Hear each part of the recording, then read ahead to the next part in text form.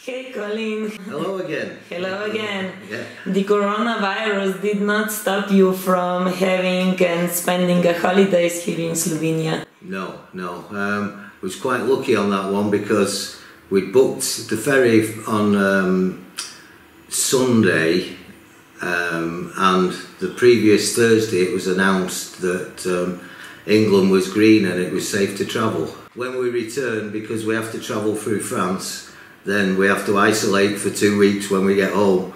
But um, I'll be glad I need a break after this holiday. yes, we've been here over a month now, um, but it's been fantastic.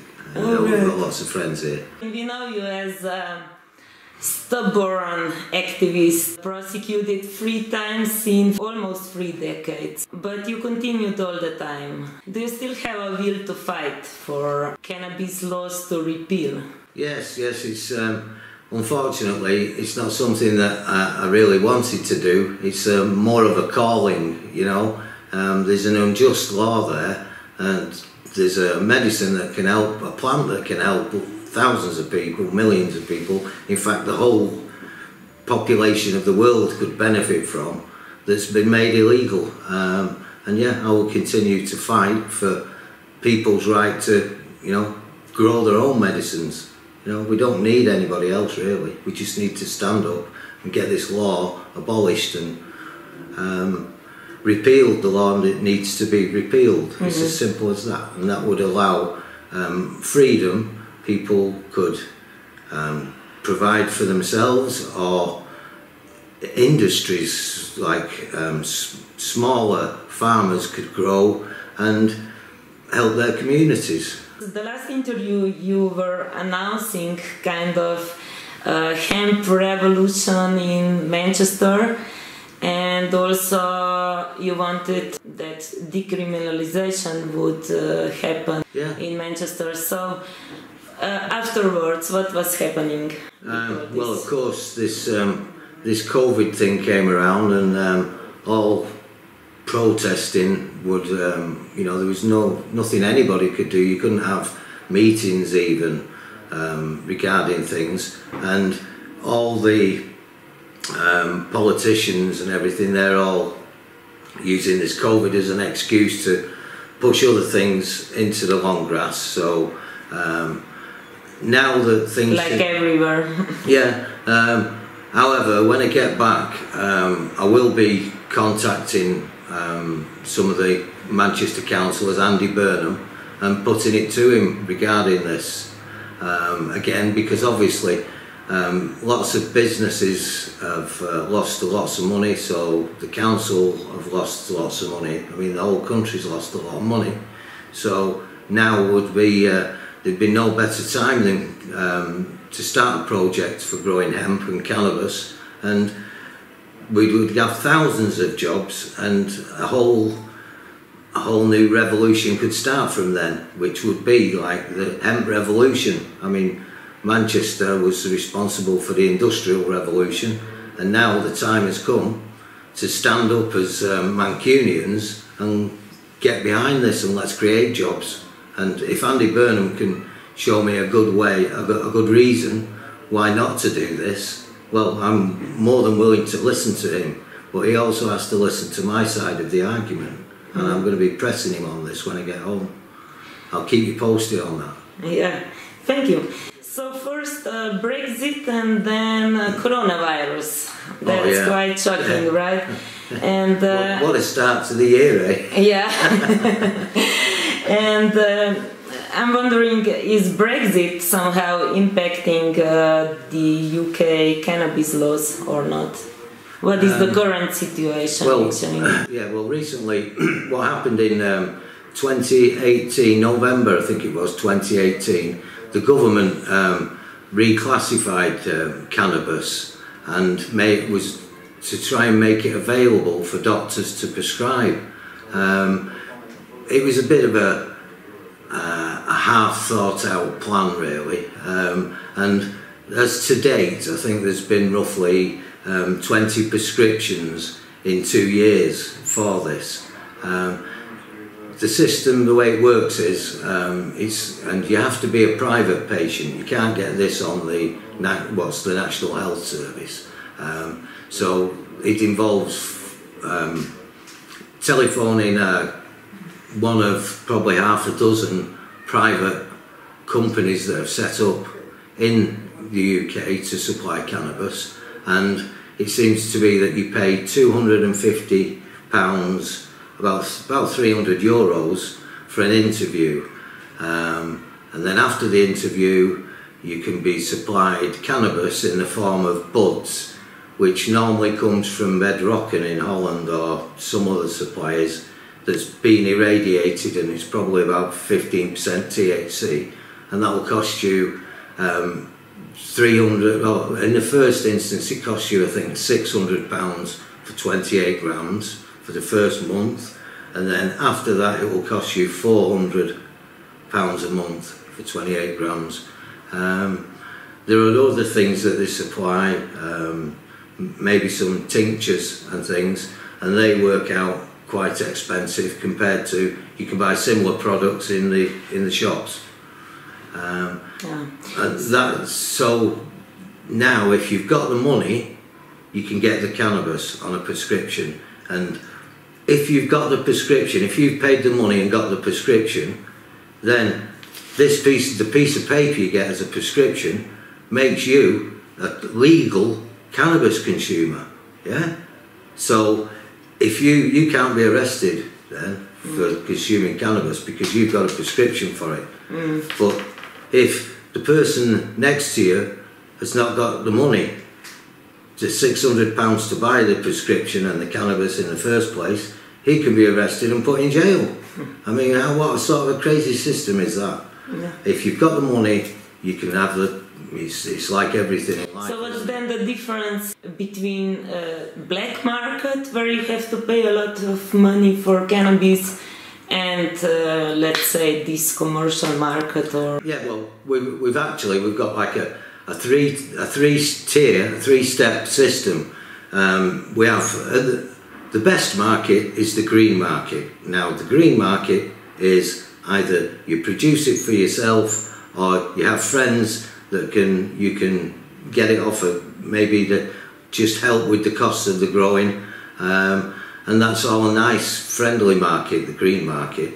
And then in the middle we've got the the so-called black market where you're buying cannabis of an unknown quality from somebody on a street corner or something you know at the worst. Or I mean there, there is there's also part of the black market, there's a lot of good people out there as well, you know, but they've all got to make a living off it, you know, they, they're there and I'm not saying that all black market is bad, you know, because if you pay the money, it's about say 160, between 160 and 200 pounds for 28 grams. Um, I consider those people, there's also, well, we've got vendors, yeah, vendors are like trusted people that you can go to for cannabis. You know, okay, you've got to pay between 160 and 200 pounds for it, but there are good people out there that do this, and you know, and they get decent cannabis, and if they don't have any rubbish cannabis, you mm. know,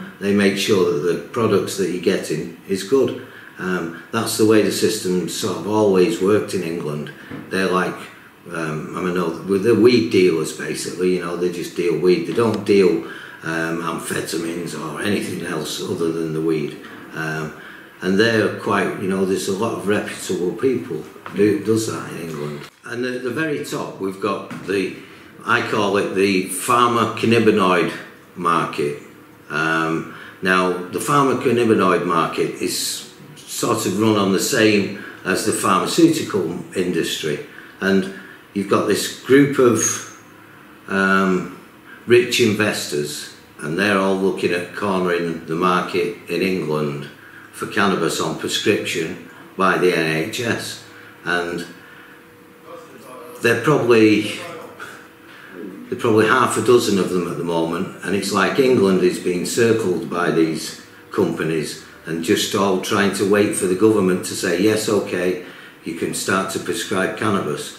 But if people think that they're going to get an ounce of 28 grams of cannabis on the National Health Service, um, I think it's like living in a fantasy land because there would be probably 20 million people in England would be entitled to some sort of medical cannabis prescription or other. And the system just couldn't cope with it. It would be impossible you know but they're still looking for it and they're looking at making billions out of this um, cannabis plant Yeah. you know it's ridiculous The luckiest you are if you find yourself on the green market.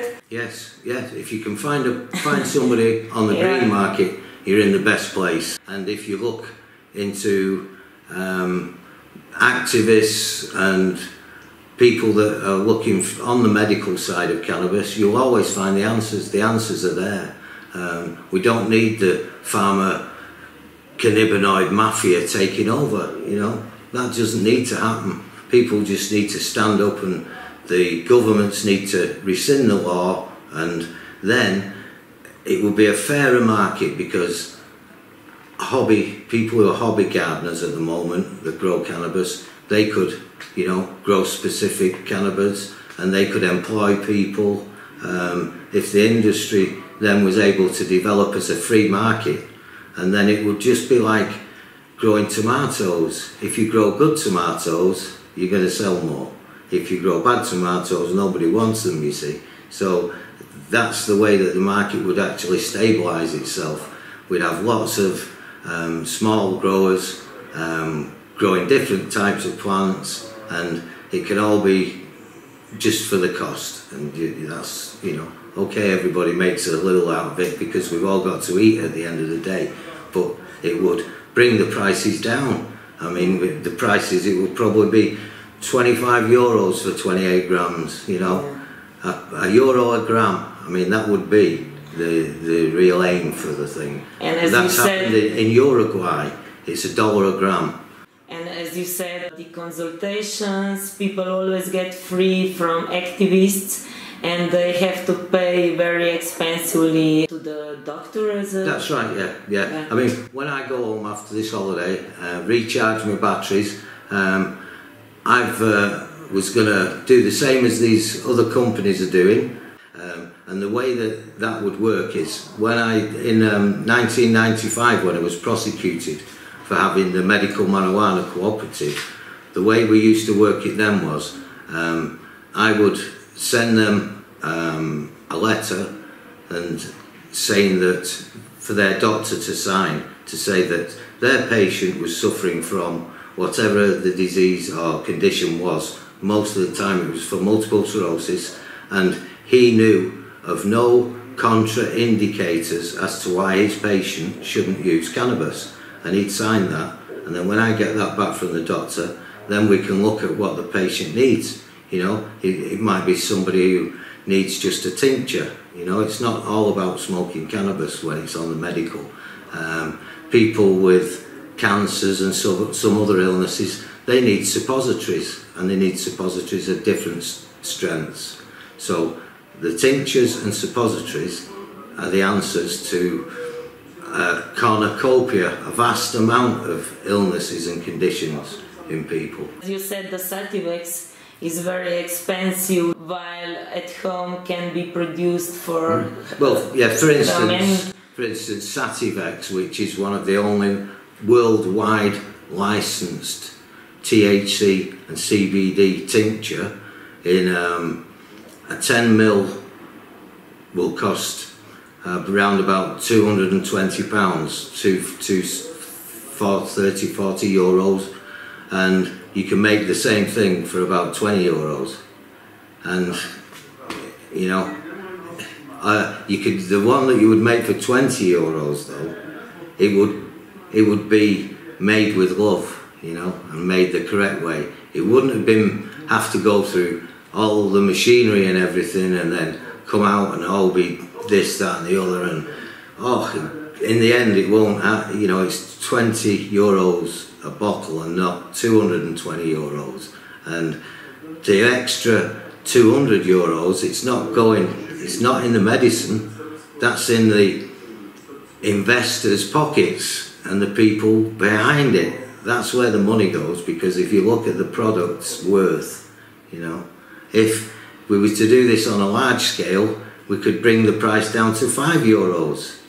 It's all dependent on you know what we do, and there's a lots of farmland out there that farmers could you know it grows quite easily hemp, and they've got the land, and industry would do it all itself. It would create a whole new industry. Has uh, cannabis consumption increased or decreased due to the virus now? What do you think? Well, I think it has increased um, because people have been uh, off work and things, and people are looking for different ways to relax, and also with the um, edibles market.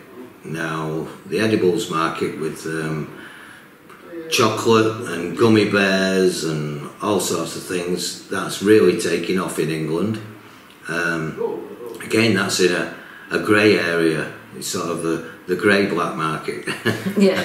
um, but the, lots yeah, of colours for yeah. markets. yeah, yeah. The consumption of that has, um, has certainly gone up from what I know.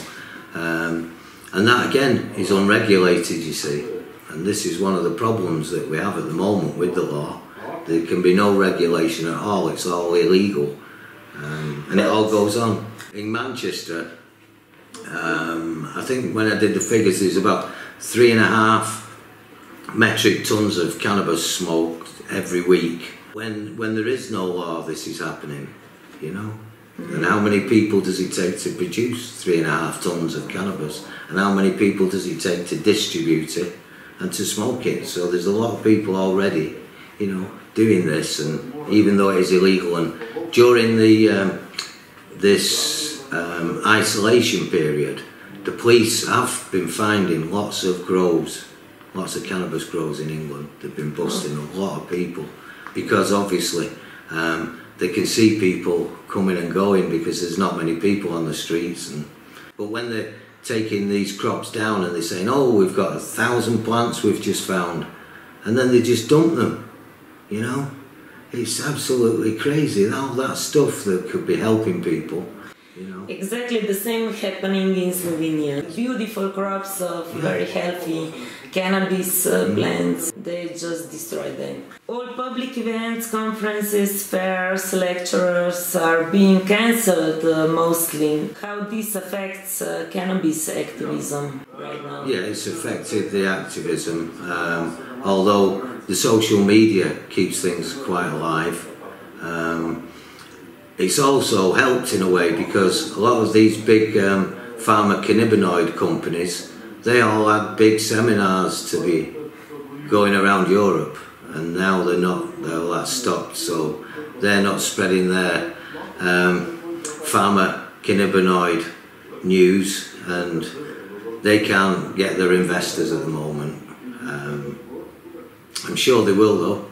Uh, I'm sure they will, but there's a lot of people that are going to get burnt by this because when the people realise they can do it at a fraction of the cost and they can get it today instead of waiting three months. I mean, in England they're looking at, they're not accepting any of peer-reviewed evidence. They don't accept peer-reviewed evidence. They'll need to um, do three-year trials on every condition um, and they'll have to be double-blind placebo trials, and that's going to take a lot of money to do these trials. So the big pharma cannabinoid companies, they're all going to have to have deep pockets because they think that they're just going to be able to have this carte blanche, you know, the freedom for it in England, and that's not going to happen. It just won't happen because if it does happen, it would bankrupt the National Health Service within a week because you know they've already got no money. You know they've not been coping with they've coped with the coronavirus. I mean they built a hospital um, that never had any patients in, um, and it cost them three million pounds to dismantle it to take it down. You know. Wow. Crazy things are happening. also, human rights are right now subject to the virus. Um, in the name of the virus, anything can be prohibited. Well, we're in uh, August now, and this has been going on since probably in England from March. Um, so people are starting to wake up, you know, and realise that the this Chinese virus is not so dangerous. And I think there's been some big fake news in the beginning, and it's all been spun out of proportion. And I know in England that they said that there were 40,000 people died. Um, but this time of the year, over the winter, I think it was less than was died the year before of flu and natural causes and things.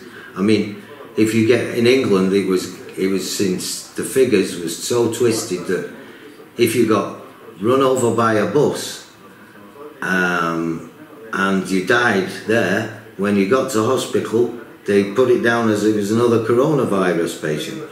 Of course, because they got uh, the financial subsidy. Yeah, if it was corona, I don't think you had to pay for the funeral. You couldn't go to the funeral, mm. and they was just disappeared. You know, I put the blinkers on, and I ignore all this stuff, and because um, people don't stop coming to me and asking me, you know, I get lots of people every week with problems with cancer and young children with epilepsy and things, and I have to just concentrate on that side and keep things as calm as we can, and then watch everything else around you. Um, but I mean, I don't like the fake mask thing. You know, that's crazy because that's going to do you more damage than anything.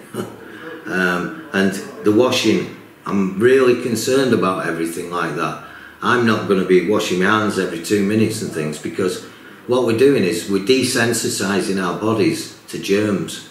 You know, we need we need germs and making ourselves sterile. Our body's um, natural functions they're not working. You know, um, things are slowing down, and in the end, you don't need your immune system. So then, you, when your immune system becomes low, then you will become ill.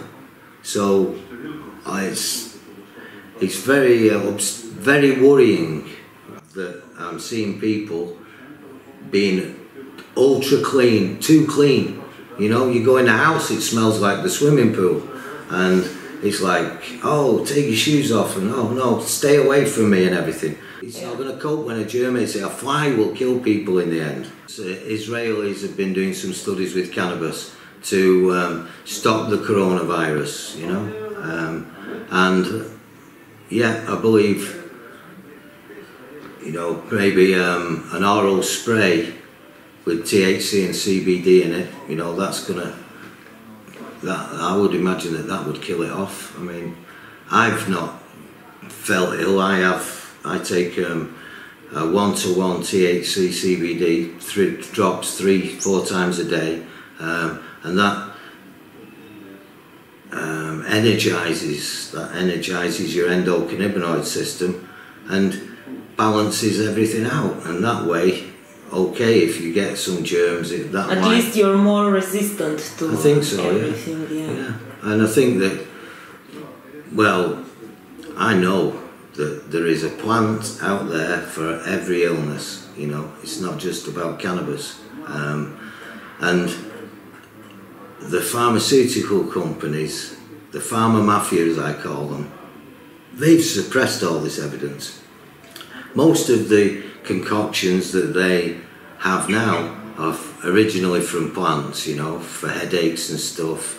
Elm bark, they use that, but then instead of using elm bark, oh, we'll make a synthetic version. And that's what their, their products are. They're basically synthetic chemicals that are mimicking plant matter.